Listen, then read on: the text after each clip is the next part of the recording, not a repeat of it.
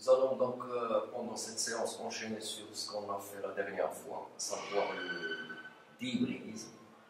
Et donc, on avait dit que lorsque deux gènes sont génétiquement indépendants et physiquement liés, ça veut dire qu'ils sont situés sur un même chromosome et très éloignés l'un de l'autre.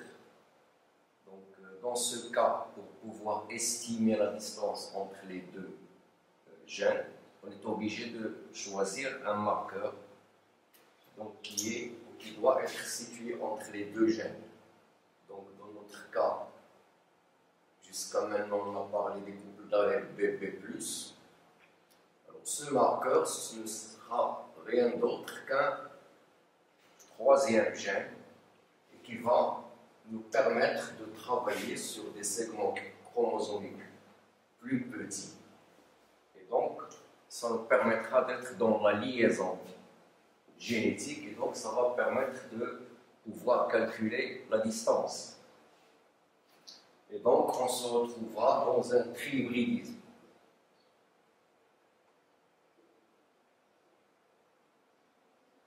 Comme son nom l'indique, le trihybridisme, c'est tout simplement un croisement entre deux souches qui diffèrent par trois gènes. C'est ce que nous avons ici sur cette planche. Donc, euh, on a trois couples d'arêtes AA, BB, et C, C. Donc, ce trihybridisme, on l'appelle aussi un croisement à trois points. Alors, on peut l'utiliser pour déterminer le phénotype des parents s'il est inconnu. Ici, vous avez un exemple. On a croisé deux souches haploïdes va appeler souche 1 et souche 2 dont le phénotype est euh, inconnu. Je rappelle ici qu'on dit phénotype ou génotype, c'est la même chose puisqu'on est chez des organismes haploïdes. Donc le phénotype reflète le génotype. Alors, ici, on a zygote qui a deux N et qui va subir la méiose pour donner euh, les tétrades ou les spores. Alors ici, on a représenté euh, le zygote, mais on peut aussi l'utiliser pour représenter deux chromatides en stade prophase 1 de la méiose, c'est-à-dire ici.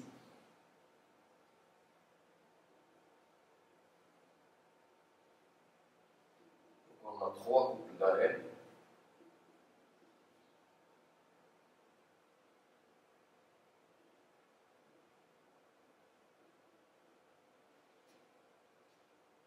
Ici A, B plus, C plus. La même chose ici. nous avons quatre chromatides comme d'habitude. Sur cette planche, on a représenté seulement, par exemple, la chromatide 2 et 3. Vous avez ici. Alors, ce, zygote va subir la méiose. Et donc, il y a 8 cas possibles, selon s'il y a eu crossing over ou non, et où il y a eu crossing over. Alors, c'est 8 cas. 2 cas sont les premiers, c'est les cas où il n'y a pas du tout de crossing over, pas de recombinaison. Deux cas où il y a crossing over entre A et B. Deux autres cas où il y a crossing over entre B et C. Et les deux derniers cas où il y a crossing over entre A et B et entre B et C. C'est pourquoi donc il y a huit cas possibles. Donc oui, euh, type de sport possible pour une seule méiose. Mais dans une seule méiose, parmi les huit cas, il y a seulement deux qui sont réalisés. Ici, donc, nous avons le zygote qui a deux N euh, chromosomes qui va subir la méiose. Et après la méiose, on a huit cas possibles, selon qu'il y ait crossing over ou non. Alors, ces huit cas les deux premiers cas, c'est lorsqu'il n'y a pas du tout de crossing over, pas de recombinaison. C'est-à-dire c'est un cas qui ne donnera que des sports parentables. Le deuxième cas, c'est lorsqu'il y a crossing over seulement entre A et B, et il n'y a pas de crossing over entre B et C. C'est-à-dire, par exemple, ici. Les deux autres cas suivants, c'est lorsqu'il y a crossing over seulement entre B et C, il n'y a pas de crossing over entre A et B. C'est-à-dire ici. Les deux derniers cas, c'est lorsqu'il y a crossing over entre A et B et aussi entre B et C. Donc en tout, nous avons 8 cas. Alors il est à rappeler que dans une seule méiose, seulement deux cas parmi ces 8 sont obtenus. Mais dans la totalité de toutes les méioses qu'on a, on va voir bien sûr les 8 cas.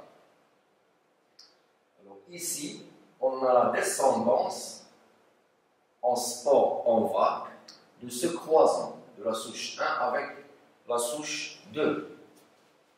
Alors, qu'est-ce qu'on remarque? Parmi ces phénotypes Puis on a 8. Parmi ces 8, il y en a 2 qui n'ont pas du tout subi de crossing over, 4 qui ont subi un seul crossing soit dans un segment chromosomique, soit dans l'autre et deux qui ont subi deux crossing c'est-à-dire un crossing dans chaque segment.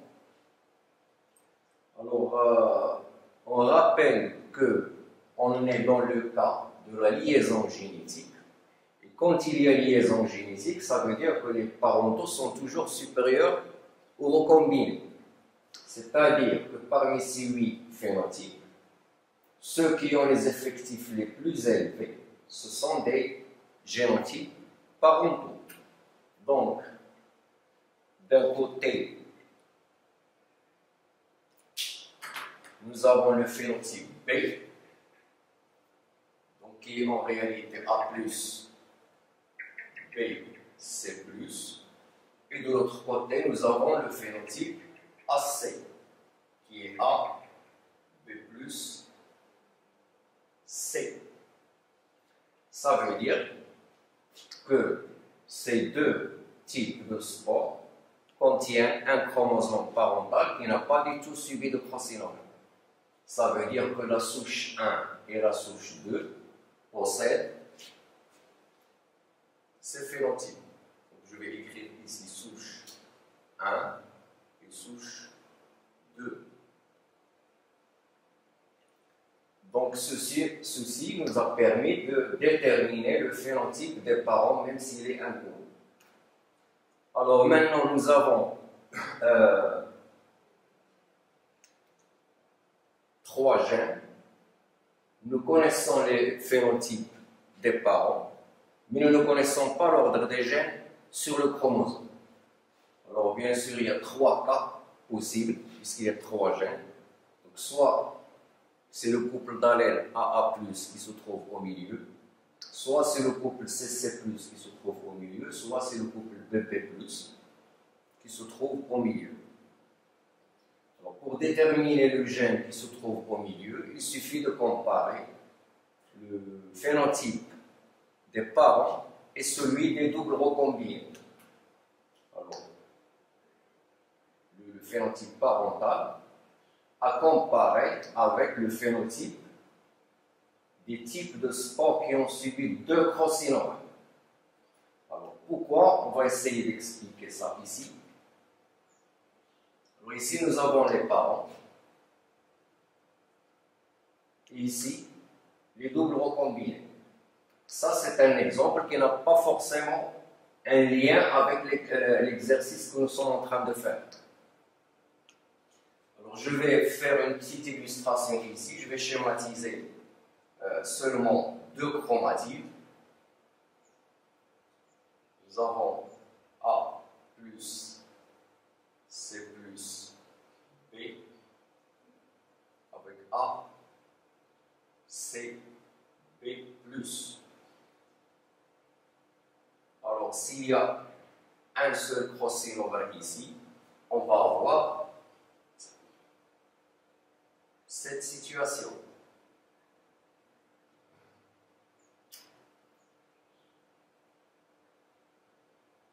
B plus, et ici A, c'est plus B. Ça, c'est le premier crossing c'est-à-dire ici. Maintenant, le deuxième crossing cette situation.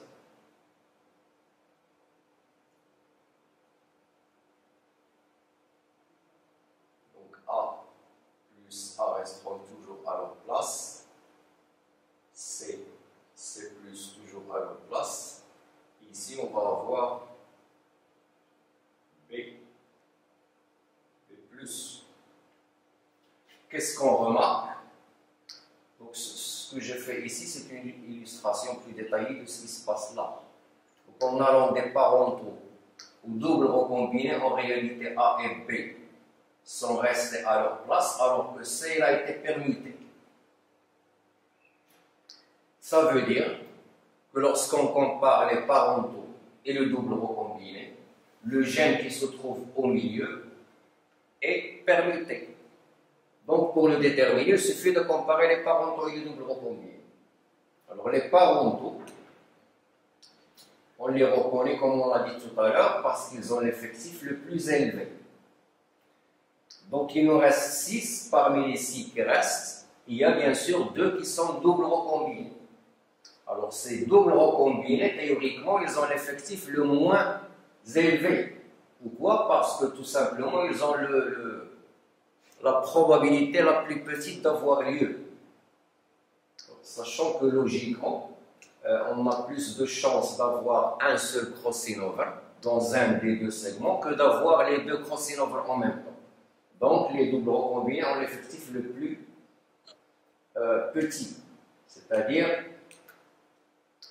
ici, ce type A avec un effectif de 2 et le type BC avec un effectif de 1.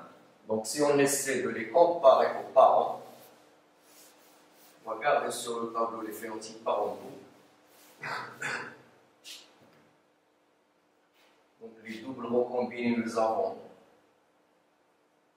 d'une part A qui est donc en réalité A, B plus, C plus, et nous avons d'autre part BC en réalité A plus B, C. Donc, quand on compare ces deux parentaux avec ces deux recombinés, on va trouver que A plus B sont ensemble ici. Ils sont toujours ici. Ici, ils sont avec C+, alors que là, ils sont avec C. La même chose pour celui-là. A, B+, ces deux allèles sont ensemble ici, ils le sont toujours chez ce double recombiné. Chez ce parent, ils sont avec l'allèle C, alors qu'ici, ils sont avec l'allèle C+. Donc, en allant des parentaux au double recombiné, on remarque que c'est le couple d'allèles C qui est permuté. Donc, par conséquent, c'est le couple d'allèles euh, C, C+, qui se trouve au milieu. Donc, on a cet ordre. Sur notre chromosome, les gènes sont placés de manière à ce que c'est le couple d'allèles CC+, qui se trouve au milieu. Donc, on est dans cette situation.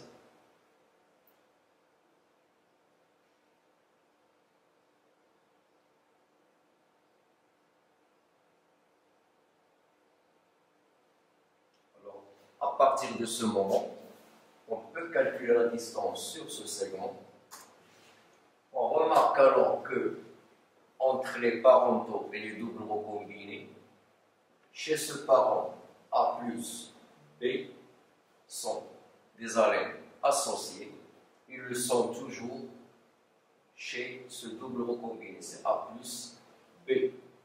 On ici Chez ce parent, ils sont avec l'allèle C+, alors qu'ici, ils sont avec l'allèle C. La même chose pour l'autre parent et l'autre double recombiné. A est associé à B+, ils le sont toujours chez ce double recombiné.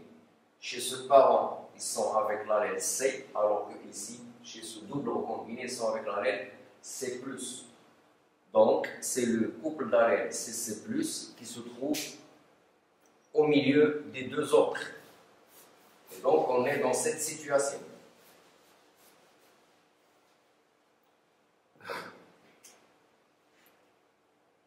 Voilà, donc on a A, A+, suivi de C, C+, et finalement B, B+. Donc, à partir de ce moment, on peut calculer la distance d'une part entre A, A+, et CC+, et d'autre part entre CC+, et B, B+. pour calculer ces distances, on est censé utiliser ces phénotypes. Alors la distance entre A, A+, et C, C+, pour la calculer, il faut, parmi les, huit phénotypes, chercher quels sont ceux qui sont recombinés seulement entre A et C, sans regarder le couple d'arrêt BP+. Donc, on va revenir à ces phénotypes. Donc, on voit que les doubles recombinés, c'est-à-dire celui-là et celui-là, ils sont recombinés entre A et C. Donc là, je vais poser le phénotype des parents qui sont d'une part A plus B, C plus, et l'autre part A, B plus C. Alors, on ne va pas s'intéresser à B, donc je peux l'effacer. Je vais regarder uniquement les couples d'arène AA+, et CC+.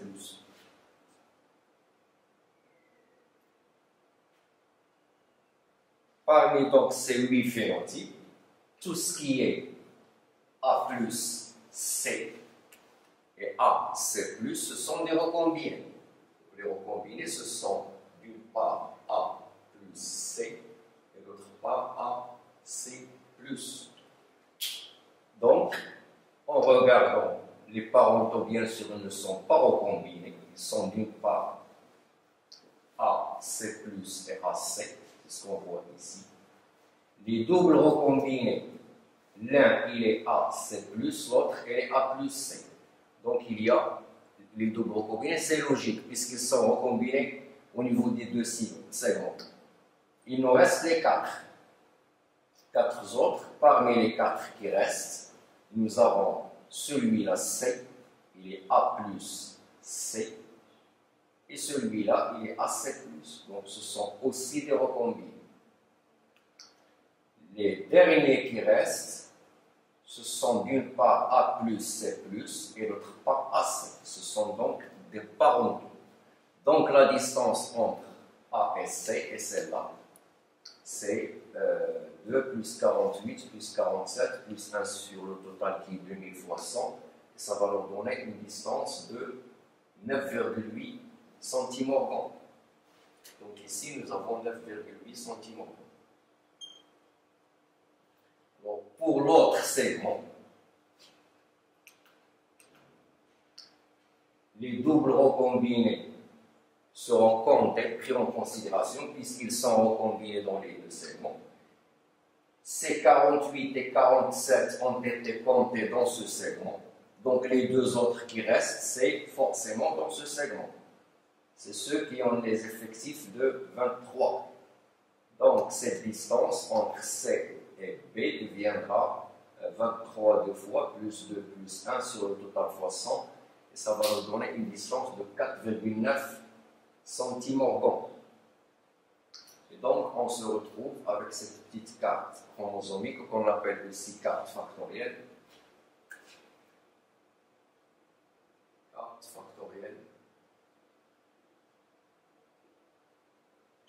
s'appelle aussi carte chromosomique, c'est la même chose.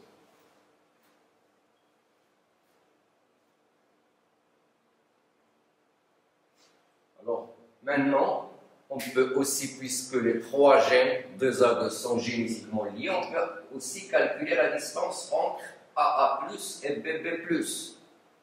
Alors cette distance, c'est les recombinés entre A et B. Donc si on revient ici, on va trouver que ces deux sont parentaux bien sûr. Ces deux doubles recombinés, ils sont d'une part A, B+, et d'autre part A plus B. Donc ce sont des parentaux, parce que ici on a B, si on, prend en considération B, ce sont des parentaux. Donc les recombinés entre A et B qu'on a, c'est celui-là qui a un effectif de 48, celui-là qui a un effectif de 47, et ces deux derniers qui ont respectivement euh, les effectifs de 23. Donc cette distance, c'est entre A et B, c'est 47, 43, 23, 23 sur la fois 100, et ça va nous donner une distance de 14,1 cm. Donc, si on fait ça, 14,1 Alors, bien sûr, euh, on remarque que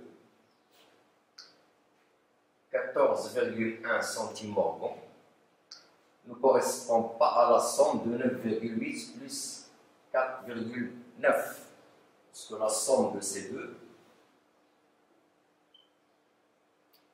ce n'est pas 14,1, c'est plutôt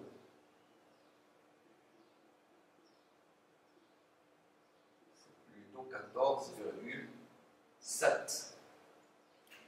Et donc, on, se pose la question, est-ce que c'est 14,1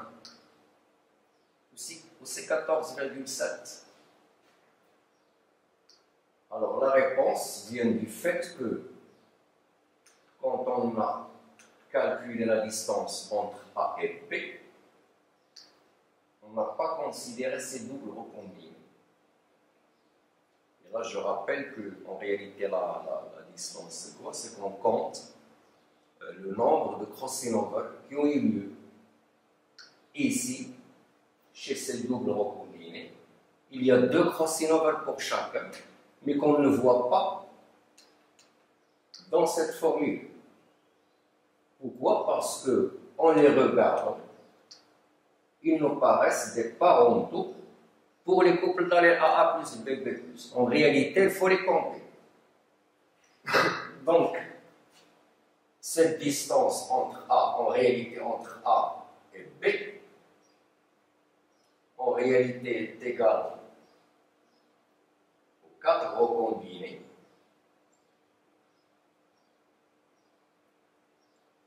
plus les crossing qui ont eu lieu ici et qu'on n'a pas vu. Alors les doubles recombinés, on a ici 2 et 1, ça fait 3 double recombiné en tout. Chaque double recombiné a subi deux crossinova. Donc, 3 fois 2, il y a 6 crossinova qu'il faut additionner ici. Sur le total, fois 100, ça va nous donner 14,7 qui est là. Donc la distance réelle, ce n'est pas 14,1, mais c'est 14,7. Et je ne dis pas la distance réelle, je dis que c'est la distance la plus proche de la réalité, la mieux estimée. Et ça, on, trouve une notion importante, c'est que quand on a travaillé sur ce segment et ce segment, ce sont deux segments, bien sûr plus petits que ce grand segment. Donc la conclusion qu'on tire, c'est que plus on travaille sur un segment petit, plus on s'approche de la valeur réelle de la distance. Pourquoi? Parce que dans un grand segment, souvent, lorsqu'il y a deux crossing over en même temps, l'effet d'un crossing over est annulé par un autre conséquent.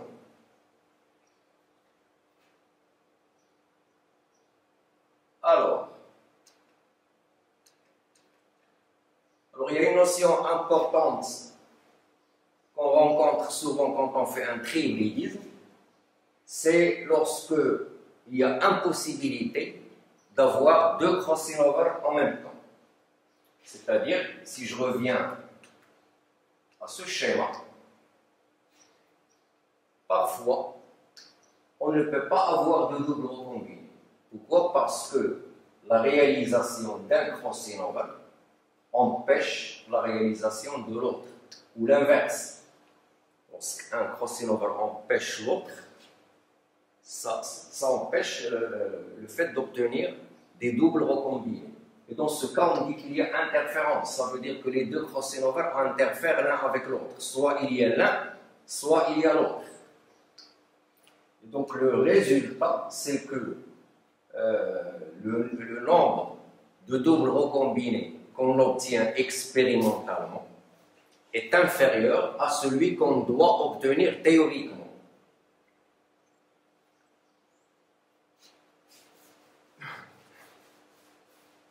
ici dans notre cas, réellement, on a obtenu trois doubles recombinés qu'on voit ici. Il y a ce phénotype A et ce phénotype B. Donc nous avons les doubles recombinés égal à 3. Donc c'est un pourcentage de 0,3% puisqu'il y a 3 pour 1000. Ce sont les doubles recombinés observés.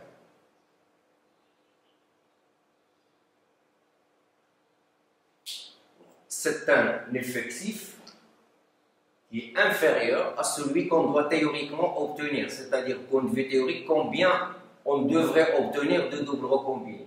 Quel est le pourcentage théorique? Alors le pourcentage théorique, donc on appelle double recombiné attendu.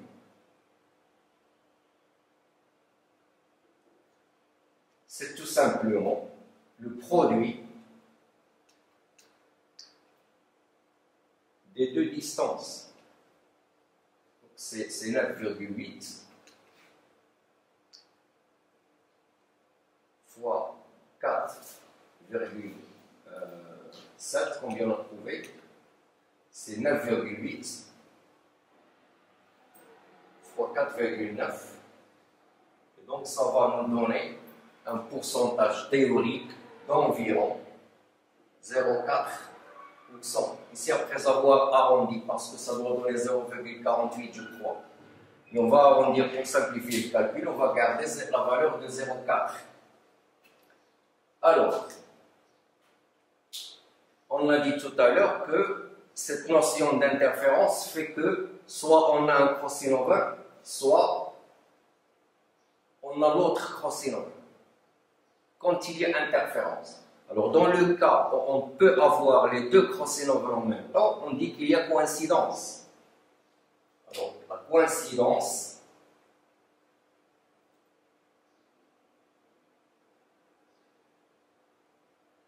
elle est caractérisée par son coefficient.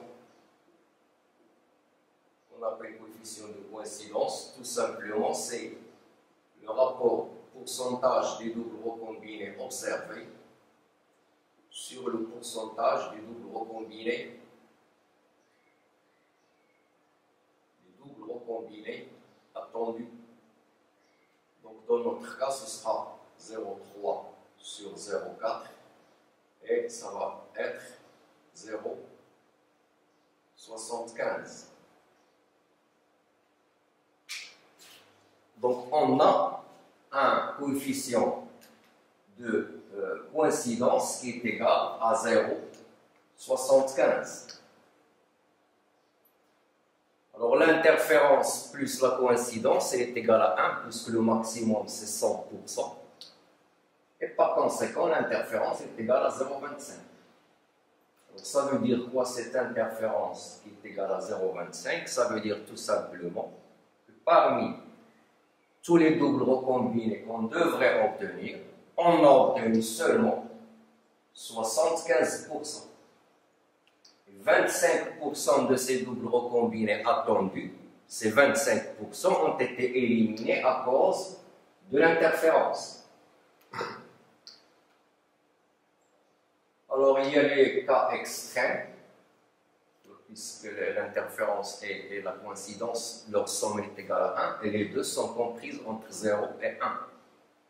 Donc, il y a le cas extrême où l'interférence est totale. Alors, lorsque l'interférence est totale, ça veut dire que la coïncidence est nulle. Dans ce cas-là, il y a impossibilité totale d'avoir les doubles recombinés, les deux crossing en même temps. Donc, dans ce cas-là, on n'obtient pas ces doubles recombinés. On obtient seulement les six autres phénotypes. Parce que l'interférence est totale. L'autre cas extrême, c'est lorsque l'interférence est nulle et la coïncidence est totale. Dans ce cas-là, on a autant de doubles recombinés observés que de doubles recombinés euh, attendus. Ça veut dire aussi que jamais la réalisation d'un over n'empêche celle de l'autre. Alors je vais profiter pour parler euh, aussi du trihydridisme chez un organisme à cycle diplobiotique, c'est-à-dire chez les diploïdes. Alors c'est le même principe que chez les haploïdes, sauf que tout à l'heure on était en train d'analyser les produits de la méiose, c'est-à-dire les spores. Maintenant, chez un diploïde, on va analyser la descendance du test cross. Alors, euh, vous savez très bien que quand on travaille chez un organisme euh, pour voir la recombinaison, pour voir s'il y a liaison indépendante génétique, pour calculer les distances entre les gènes, on utilise la descendance du test cross.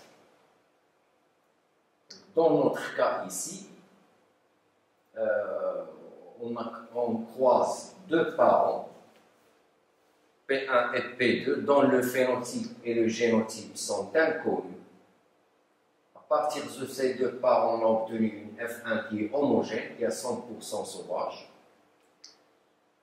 On a réalisé le test cross, c'est-à-dire le croisement d'un individu F1 avec le triple homozygote récessif, et on a obtenu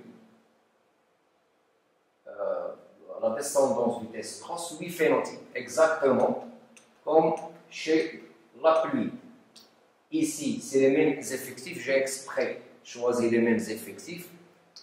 Sauf que ici, on a des spores, donc des cellules à N chromosomes, alors que ici, nous avons la descendance du test cross, donc ce sont des individus à deux N chromosomes. Parmi ces huit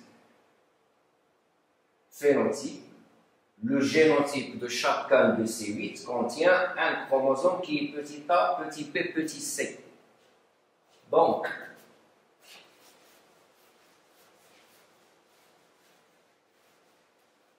Ces huit phénotypes vont nous permettre de déterminer le génotype de F1 et les génotypes des parents. Alors, comme tout à l'heure, bien sûr, les parentaux, ils ont les effectifs les plus élevés. Donc, d'une part, nous avons le phénotype B, et d'autre part, le phénotype AC.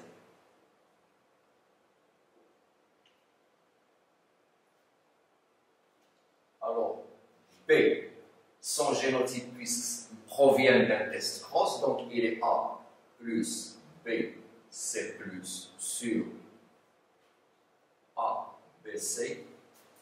Permettez-moi, je suis obligé de changer de marqueur.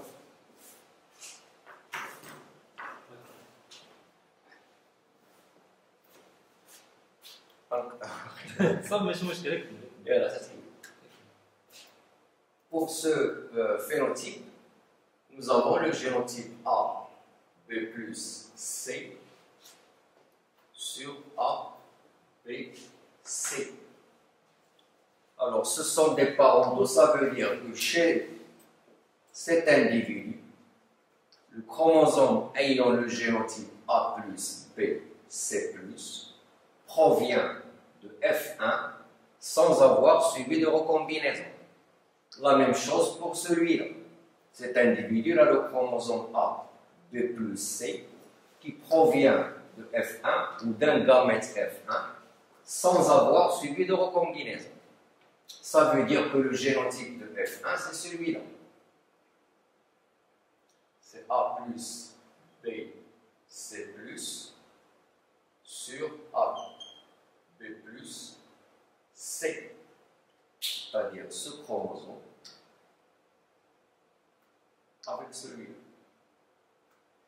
Par conséquent, puisque les parents sont de race pure, nous avons P1, il a le génotype A+, B, C+.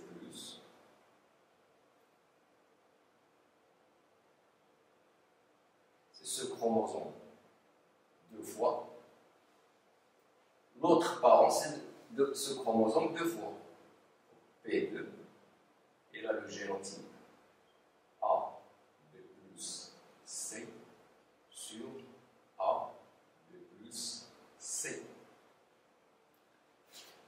Donc ceci nous a permis de déterminer le génotype de F1 et les génotypes des deux parents. Tout à l'heure, en parlant des haploïdes, ça nous a permis de déterminer le phénotype des parents qui reflète le génotype. Maintenant, puisque c'est des fluides, ça nous permet de déterminer le, le génotype de F1 et le génotype et le phénotype des parents. Alors pour le reste, le calcul c'est le même. Donc nous avons sur, euh, sur ce, enfin le calcul c'est le même, je veux dire euh, tout ce qui est calcul de la distance, tout ce qui est interférence et coïncidence, c'est exactement, c'est le même exemple, c'est exactement la même chose que ce qu'on a vu chez euh, les appuis. Alors sur ce tableau, il y a un petit récapitulatif, donc ici vous avez ce qui concerne les appuis, ici ce qui concerne les dépluides. Donc le cycle, on l'a déjà dit, c'est un cycle haplobiontique, donc la, la méiose suit immédiatement la fécondation. Ce qu'on analyse, c'est les produits de la méiose. Ici, après fécondation, il y a immédiatement des mitoses qui dans l'individu qu'on observe. Donc on, analyse les produits de la, des mitoses qui surviennent après la fécondation. Alors ici, les produits analysés, donc c'est les analyses de la produit de la méiose à un chromosome. Ici, c'est l'analyse des produits des mitoses du zygote qui est à deux chromosomes. Alors ici, bien sûr, on l'a déjà dit aussi, le, phénotype reflète le génotype. Chez un diploïde, non. Le phénotype ne reflète pas le génotype. Hein, chez un diploïde, pour déterminer le génotype, on est parfois obligé de faire un test cross alors, lorsqu'on fait un dihybridisme ou un trihybridisme pour voir la liaison ou l'indépendance génétique, ici on compare chez les, appuis, on compare les produits de la méiose, c'est-à-dire les types parentaux et les types recombinés de la descendance des produits de la méiose, donc des cellules à un chromosome. Ici, on compare les types parentaux et les types recombinés de la descendance du test cross chez un organisme diploïde. Alors la même chose pour les distances. Ici, c'est le nombre de recombinés sur le total fois 100 en comptant les produits de la méiose. Ici, c'est en comptant, pour calculer les distances, c'est en comptant les recombinés de la descendance du test cross.